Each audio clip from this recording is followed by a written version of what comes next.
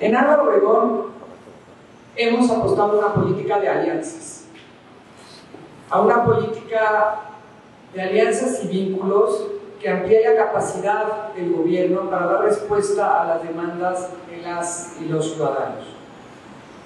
Hoy nos vemos sin duda alguna fortalecidos con la firma de este convenio de colaboración, así como con el apoyo constante que hemos recibido de parte de ustedes. Este es el primer actor de, la, la iniciativa privada que se suma.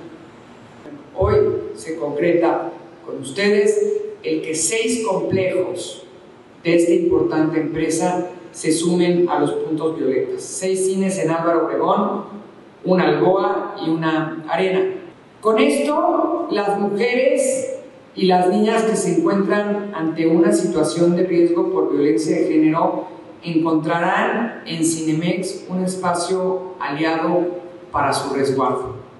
La atención a las mujeres víctimas de violencia y la difusión de acciones a través de puntos violentos. Como mujer, este programa me parece particularmente importante.